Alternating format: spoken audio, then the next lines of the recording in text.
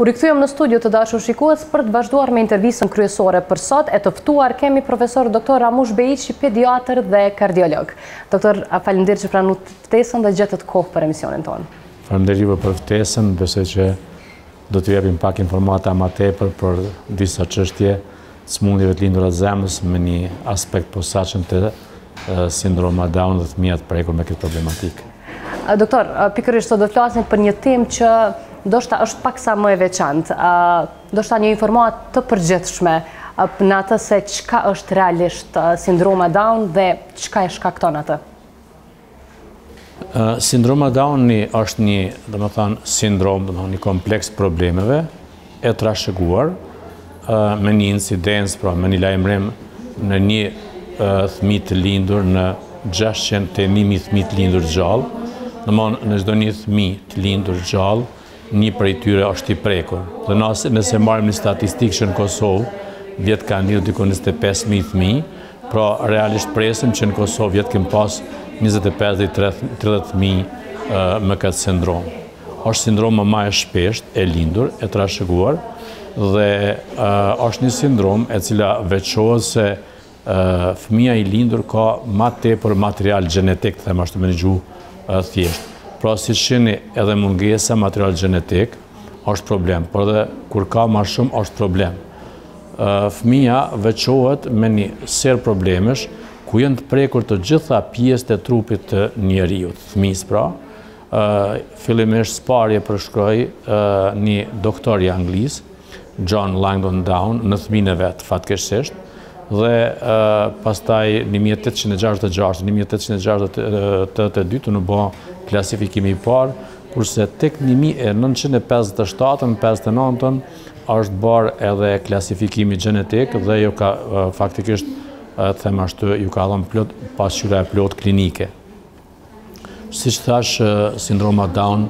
prek të gjitha pjesët e trupit të njeriut, duke përfshirë edhe pjesën them ashtu trupore, ashtu edhe pjesën mendore. Pra, fëmijët e prekur me sindromën Down kanë ngecje në zhvillim psikik dhe zhvillim motorik, zhvillim trupor. Doktor, unë përmenda më herët në hyrje të emisionit që në bazë asaj edhe çka kemi lexu edhe çka e dimë nga përditshmëria, shpesh i referohen sindromës Down si sëmundje, kur në fakt është një çrregullim kromozomik, cila është e vërteta pas kësaj, si duhet të trajtohet sindroma Down, ndoshta një vetëdijesim i përgjithshëm i shoqërisë. Unë ju thashë që është një sindrom e cila prek komplet trupin e njeriu, duke përfshirë edhe pjesën të them që ne e shohim, si edhe përmbajtjen. Domethënë fëmija ka ngecje edhe në zhvillim, trupor, ka ngecje në zhvillim psiqik. Dhe aja që neve më së shumti na pengon, është ngecja në zhvillimin psiqik. Dhe qasja ndaj fëmisë me sindrom Down është multidisciplinare. Jo vetëm mjekësore, po është shoqërore, sociale, familjare, pra për shkak se ju keni një fëmi, i cili tërë jetën, i cili bart tërë jetën, Një, them ashtu, kompleks problemeve, varësisht se sa është i prekur, varësisht se cili, çfarë lloj të trizomisë njëzet e një, pra kromozomës ka të çrregullume, dhe të gjitha këto kanë për pasojë çrregullime të shumëfishta në trupin e fëmijës, duke përfshirë nga, dukja e tij e jashtme, rritja, zhvillimi mental, sëmundje të trashëguara në të gjitha sistemet që mund të hyjnë, edhe çka është më së keqi, më së shumti është prekja e sistemit nervor qëndror, pra zhvillimi mental i fëmisë ku ka shumë ngecje, dhe sistemi, prekja e sistemit kardiovaskular. 50% të fëmijve me sindromën Down ka një sëmundje të lindur të zemrës, dhe pesëdhjetë për qind prej tyre ka një sëmundje them ashtu mesatarisht të rëndë të kanalit AV kanal komplet, i cili ka patjetër nevojë për ndërhyrje kardiokirurgjike. Po, këto janë ato të them ashtu që dominojnë. Por, te fëmija me sindrom Down, fatkeqësisht, keni shumë probleme tjera në çdo një sistem, në çdo një organ, dhe këto manifestohen, po them që nga lindja deri në jetën e tij. Para se të kalojmë doktor konkretisht tek sëmundjet e zemrës, ju e përmendët më herët që sindroma Down është edhe e trashëguar. Shkencërisht për ata që nuk e dinë, a dihet saktë shkaktari i sindromës Down? Dihet shkaktari dhe në këtë grup ne në këtë drejtim janë bërë tre klasifikime, them ashtu. Numri ma i madh i fëmijëve ka domethonë translokim të plotë, pra nuk ka ardhë deri te ndarja e kromozomës 21 gjatë fazës së mejozës, dhe fëmija faktikisht ka trashëgua atë kromozom i cili ka ma shumë material, pra vend se t'i ketë fëmija 46 kromozome, që është normal, 23 nga nëna dhe 23 nga baba, fëmija ka trashëgua 23 nga njëri prind, dhe njëzet e katër nga prindi tjetër dhe tash ka katëdhjetë e shtatë kromozome dhe ky kromozomi plus është ai kromozomi i cili tash determinon një seri probleme dhe e bën sindromën Down njërën ndër ma të shpeshtet kemi një numër ma të vogël të fëmijëve të cilët trashëgojnë vetëm një numër të qelizave të ndryshume Pra, trashëgimia ose ndryshimi u bë ma vonë se që u bë ngjizja, dhe tek këta ju thojmë mozaik, vetia e tyne është se pasqyra klinike dhe problemet klinike janë shumë ma të vogla se te fmija që janë klasik. Dhe forma e tretë është translokacioni, është dikun tre për qind, ku nga prindërit plotësisht të shnosh, nga nëna apo baba kanë trashëguar kromozomën plus. Dhe tash, e gjitha kjo, pra forma e trashigimit, kromozomës njëzet e një, na i detyron dhe na i determinon pasqyrën klinike. Po nisemi pra fillimisht prej pjesës mentale. Këta fmi dahen në dy grupe, grupi i mesëm dhe grupi i rëndë. Grupi i mesëm, intelektit, pra IQ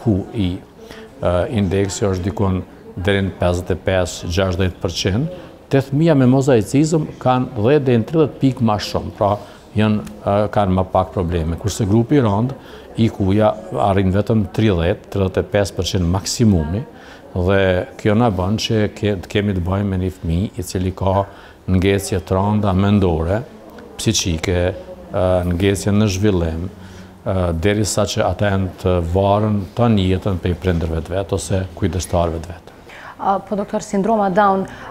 kur mund të identifikohet? është gjatë kohës së shtatzanisë, apo vetëm pas lindjes, edhe a ka ndonjë opsion që mund ta parandalojë? Fatmirësisht edhe fatkeqësisht. Fatmirësisht është se mjekësia ka përparua. Dhe duke pasur parasysh se trizomia 21, pra sindroma Down është shumë e shpeshtë, janë kërkuar metoda mjete të diagnostikimit të hershëm, së paku për të parandaluar lindjen Te ata prind që dëshirojnë të ndërprejnë lindjen nëse është identifikuar që kanë fëmijë me trizomi njëzet e një. Dhe sot ne kemi metodat ultrasonografike, një obstetër i mirë, i edukuar mirë, i cili të them ashtu në trurin e vet, gjatë ekzaminimit e qet edhe pikësynimin e detektimit të kromozomëve, shumë lehtë, shumë herët, nga java njëmbëdhjetë deri trembëdhjetë e shtatzënsisë, Mundet, mundet ta matë trashësinë e, ne i themi, laprit të qafës. Dhe ajo është një, një, një them ashtu një shenjë shumë, shumë e rëndësishme për obstetër, të cilët e vënë në dyshim shtatzanën e cila bart potencialisht frytin me Down syndrome, t'u nënshtrohet analizave tjera, pra bëhet amniocenteza e hershme, bëhet aspirimi i vileve të horionit, ekzaminohen në mënyrë gjenetike dhe aja është definitive, domethënë do të keni një diagnozë definitive dikun me 13-14 javë, dhe pastaj është të prindrit ata që vendosin të, të vazhdojnë shtatzënsin apo të ndërpritet shtatzënsia. Fatkeqësisht me ligj, Trizomia njëzet e një nuk u hin n'atë grupin e shtatzënësive të cilat janë rrezikume, unë po flas për ligjin e Kosovës, dhe prindërit mas një moshë të shtatzënësisë nuk mund ta ndërprejnë shtatzënësinë për shkak se nuk është lanë si mundësi, por që unë mendoj se është shumë gabim i madh. Duke pasur parasysh problemet që mund me pas një fëmijë me Down sindrom, unë për shembull mendimi jem individual është që prindërve duhet t'ju mundësohet që të ndërprejnë shtatzënësinë edhe ma vonë nëse u diagnostiku ma vonë. Për shkak se ju nuk keni drejt prindërit t'i ngarkoni me një fëmijë i cili tanë jetën ka me pas probleme të nivelit të ndryshëm psiqik dhe në anën tjetër ju nuk keni drejt në aspektin etik të lindni një fëmijë se edhe ai fëmijë nuk ka drejt vendosë As për ndërprerje, as për vazhdim shtatzënësisë, po him në pjesë pak ma të rana të etikës mjekësore, ai fryt nuk ka drejtë të vendosë të vazhdojë jetën e tij apo jo. Dhe, me çfarë drejte na kemi, mund të vendosim që dikush të vazhdojë jetën në nivel, them, shumë të ulët human. Nuk kisha pas qef me, me krahazue me, me diçka tjetër, por mjafton të them që IQ, pra ku i intelekti, indeksi i, i, i inteligjencës 20-30%, kurse ne dim që me 50% e ma poshtë në psikiatri shpallën debila. Prandaj, mendoj se vazhdimi i shtatzënsis, jo vetëm me trizomi 21, po edhe me shumë sindrome tjera, Në legjislaturën e Kosovës duhet të shihet pak ma ndryshe, edhe me syrin e mjekësisë,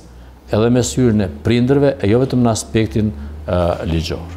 Doktor, meqë jemi te kjo pjesë, kisha dashtë me u ndalë pak ma tepër, gjithmonë mendimin juj profesional dhe personal.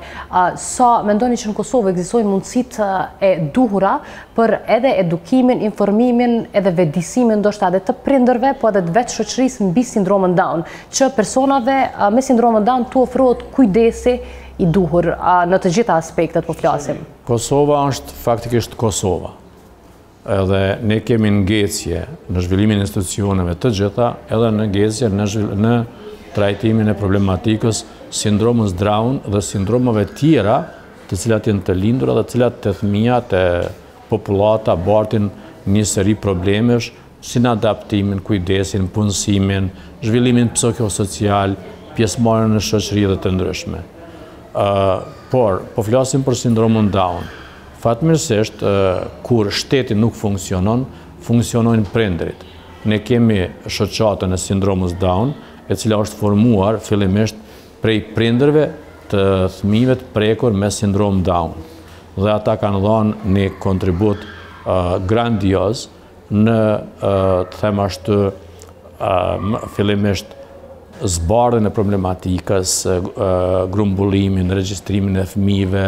dhanien e ndihmave,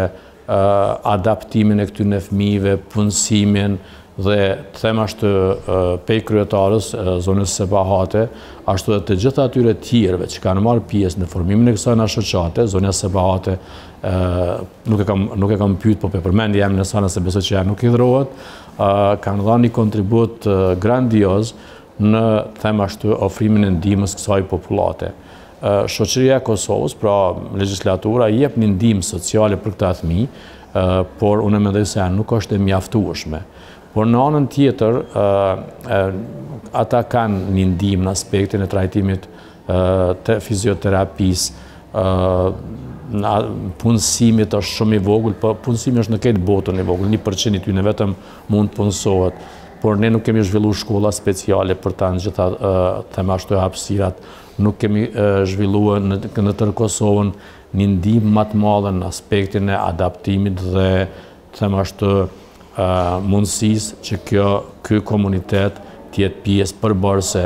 Ende jemi në një shoqëri me një, them ashtu, nivel të ulët intelektual, ku njerëzit i stigmojmë, ka sindromën Down.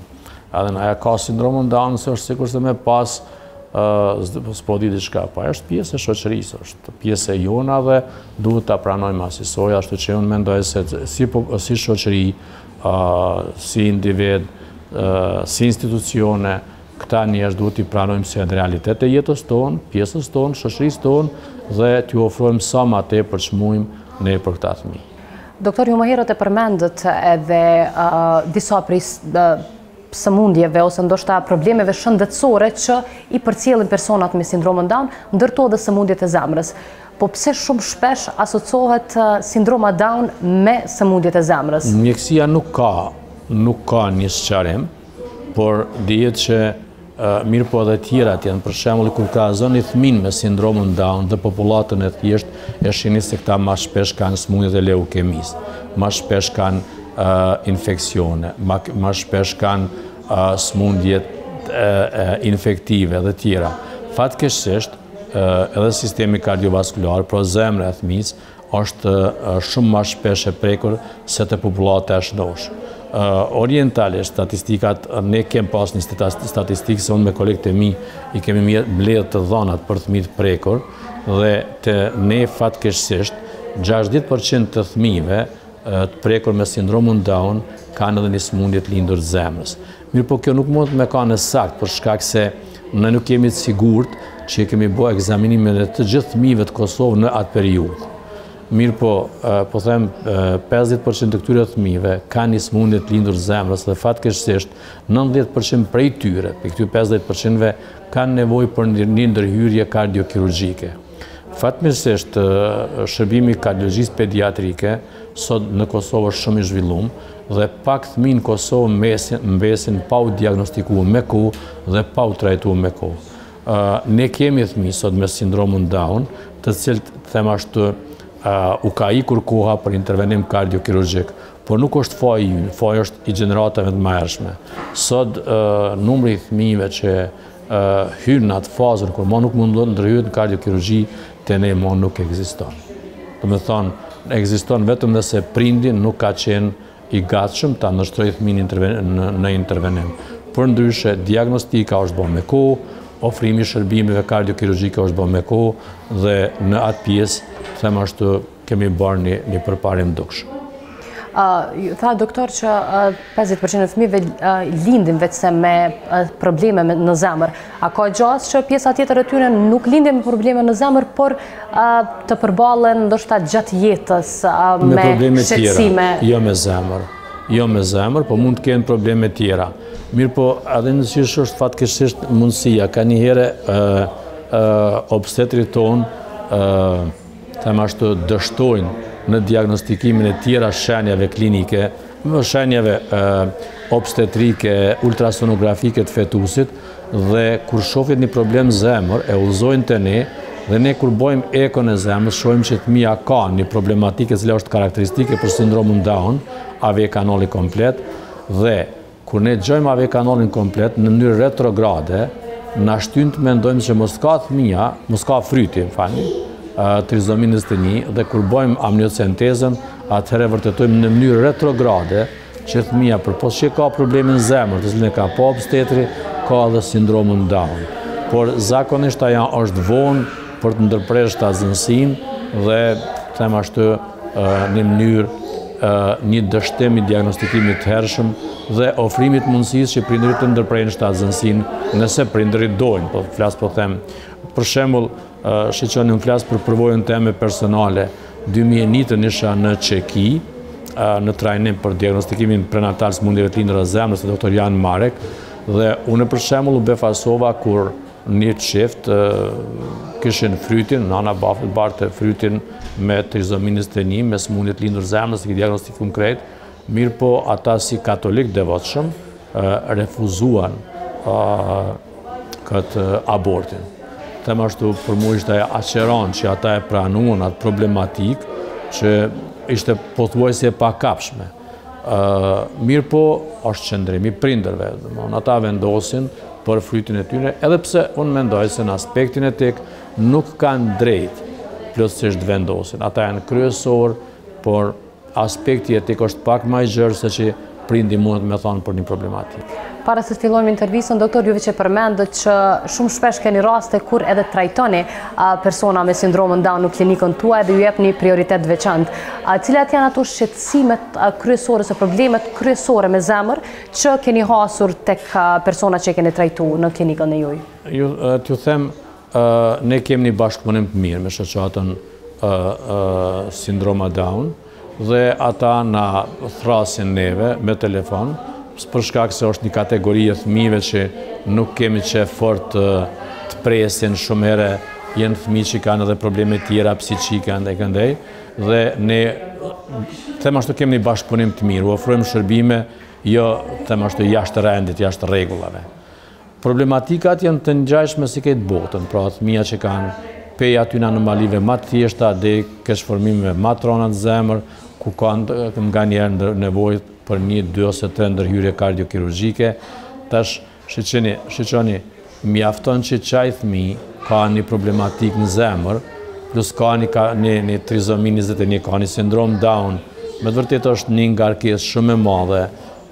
Si për prindërit, ashtu dhe për familjen, po edhe për shoqërinë në përgjithësi.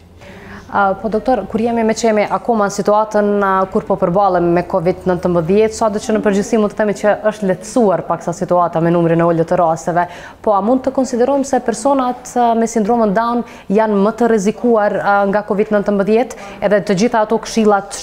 që jepen në përgjithësi për trajtimin, parandalimin e prekjes me Covid nëntëmbëdhjetë a aplikohen njësoj edhe tek personat me sindromën Down? Po, po,